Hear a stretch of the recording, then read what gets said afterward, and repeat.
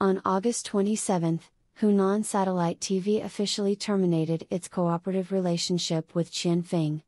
Hunan Satellite TV stated that the host Qian Feng caused a major negative impact due to personal problems and his behavior seriously violated the Hunan Satellite TV host and artist management regulations.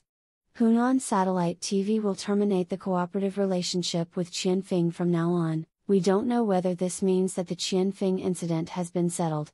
Netizens were surprised when this statement came out, and they left messages in the comment area, saying that's true, is this a hammer? On August 24, the netizen named Xiaoyi hopes the bad guys will be punished posted a long text accusing Qian Feng of raping her and disclosed the surveillance records of the incident.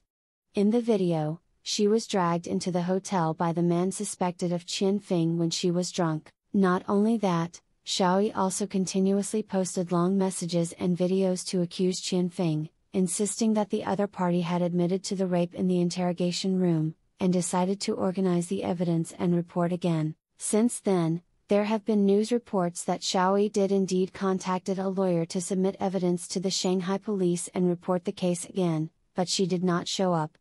Just as everyone was talking in full swing, Qian Feng, who had been silent for a few days, finally came forward and responded to the incident. Qian Feng stated that he voluntarily withdrew from the Day Day Up variety show, and at the same time submitted a request on the termination of the partnership to Hunan Satellite TV.